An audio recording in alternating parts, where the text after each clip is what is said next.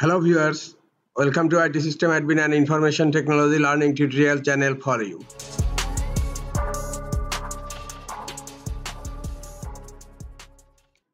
In this tutorial, I am going to show you how to easily set a printer as default in Windows 11 computer.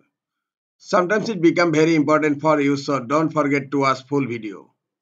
To set a printer as default in Windows 11 computer.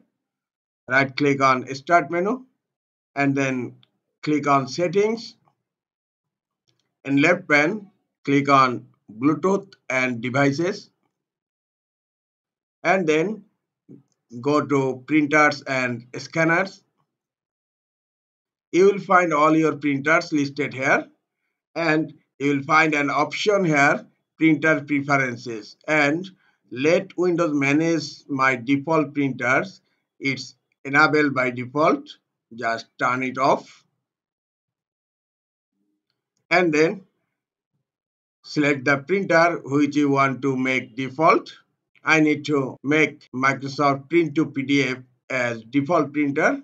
Click on this printer and here you will find a button on upper right corner set as default click on set as default and look now the printer status is default and here again go to printer and scanners and look now the Microsoft Print to PDF is default printer right now.